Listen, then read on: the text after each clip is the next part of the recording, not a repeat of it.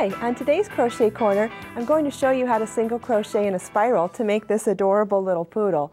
Uh, this poodle is begun at the tip of the nose and through increases and then decreases and changing color you start working up into the head. The head is worked into one piece and then set aside. Then the body is made separately with uh, with holes for the legs and then the legs instead of being sewn on are actually single crocheted right onto the body and that's what I'd like to show you how to do today. On this sample here we have the head complete already. I'll show you. Here's the head already finished. And then we have the body here. Uh, notice how we have holes here. When we made the body, we made holes for the legs. Um, and you'll see that on the pattern. All of this is really well described in the pattern that you can find on the website. And from these holes here, instead of sewing on the legs, we're going to single crochet into each stitch around that opening and then work in a spiral. Okay, now I'm going to show you how to join the leg.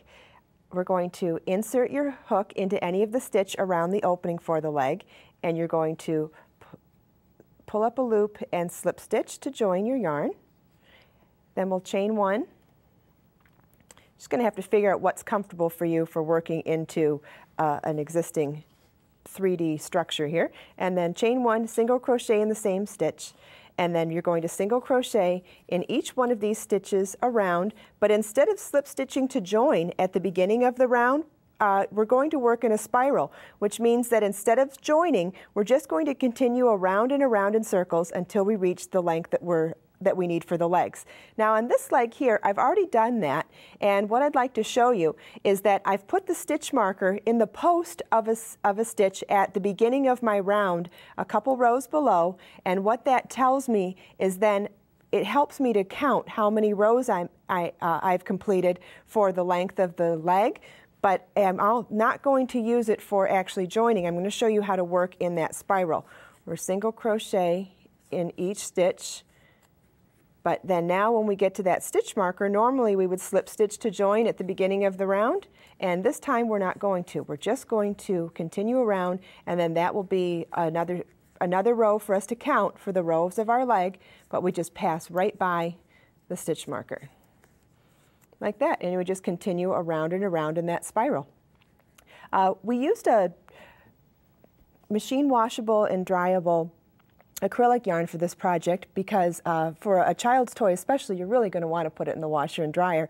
Uh, one thing I would like to suggest though is if you're not going to make if you're going to make the poodle for a small child maybe change the buttons and put uh, just sew on eyes instead of buttons so there's no chance of them falling off.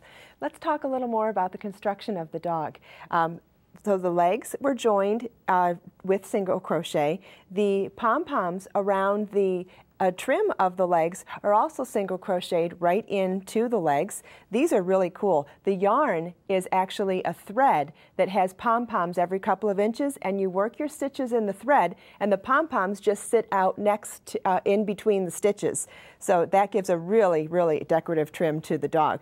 The tail is also single crocheted right onto the body and it's in fact it's worked in a spiral just like the legs as we described. The ears are worked separately and then sewn onto the head and the head is also sewn onto the body but after this uh, decorative sweater collar is worked onto the body but that's single crocheted onto the body. So the only pieces sewn on are the ears and the head. This uh, sweater body here this is worked through the back loop only which we've talked about in other in other episode and then the trim here is also worked single crochet right on where you work into that thread in between the pom-poms and then the pom-poms just sit decoratively between the stitches.